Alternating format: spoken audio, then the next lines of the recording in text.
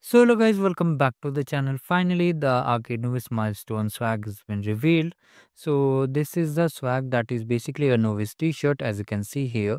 This is the minimal t-shirt by Google branding and as you can see here, the comfort, support your start and simple style. Basic description about the swag. So as you can see here, basically some of the swags have been revealed from these two milestone and also for the ranger. More will be revealed soon as you can see here. Now if you want to see the unboxing videos like how these swags actually look apart from these pictorial images so here is the playlist. I will share the link in the description. You can see it. This is the actual laptop stand mug bag full sleeve shirt and also the polo t-shirt is also there. I'll update the playlist and as you can see here these are the similar swags so these are already present you can check it out. I will share the link in the description. Now if you are new to this channel and haven't participated in the arcade program you still have time. So what you can do here these june games are already like, you will be getting 11 arcade points and for remaining 9 points if you want if you are targeting this 20 point swags you have to do 18 skill badges so let me share one sheet. These are the sheet.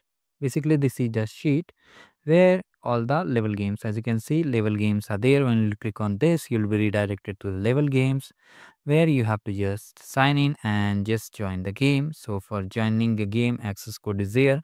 If you're unable to copy just scroll down here wait a minute and just copy from here and just join the game.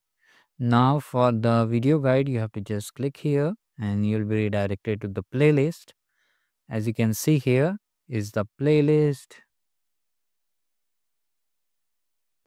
and if you need any other help similarly for the all games there are playlist. And some games are not live i will update once the other two that is the special point game will be live.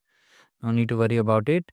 Now this is the playlist. As you can see here all solutions are present. You can watch it. And if you have completed this and need skill badges as i said earlier like for this you need 18 skill badges that will give 9 arcade points because we'll be getting 11 arcade points and 920 so you'll click on this you'll be redirected to a skill badge playlist.